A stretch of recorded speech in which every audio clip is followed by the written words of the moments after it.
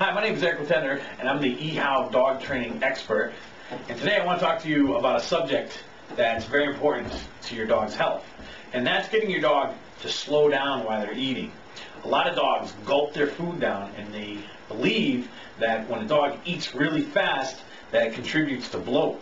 And bloat's a very serious, dangerous condition for your dog.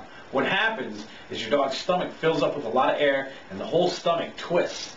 And about 30 to 40% of the dogs that get bloat end up dying from it. So what we want to do is we want to get your dog to slow down while they're eating so that they don't have to worry about bloat and so that they can properly digest their food and all this kind of good stuff. So how do you get your dog to slow down while they're eating?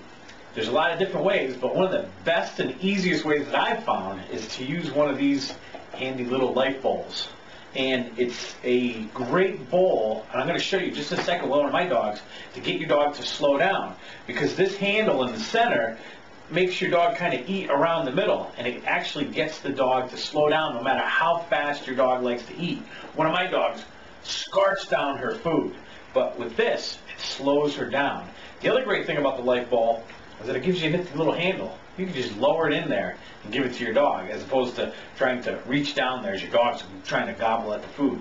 So light bowl is really great for getting your dog to slow down. And watch me feed one of my dogs with a regular bowl and then with a light good, Have that? Have that, Sam? Hey. Have that? Now let's try light bowl. Here you go, Sam.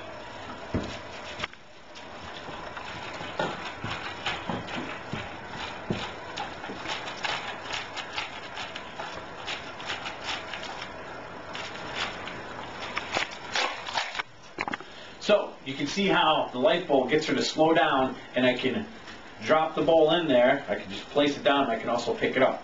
So if you have a bad back or anything like that, it's easier to feed your dog, which is another advantage to the light bowl. And light bowls come in two sizes. They come in small and medium and then large. And it's not according to the weight of your dog, it's according to your dog's snout. Some dogs have long snouts like collies, German shepherds, and then other dogs have short, flat noses like bulldogs and mastiffs and those types of breeds. So light bowls, they're great. Check them out. You'll be very glad you did. Thanks for watching and have a great day.